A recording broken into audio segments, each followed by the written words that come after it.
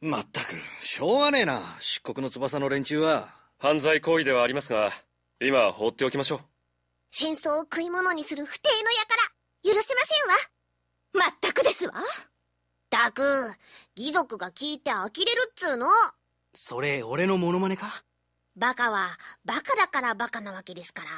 しょうがありませんね。アニスモノマネがどんどん本音になってきてますよ。はあ。まあ彼らのように生きるための手段を選ばないのも戦争の傷でしょうね。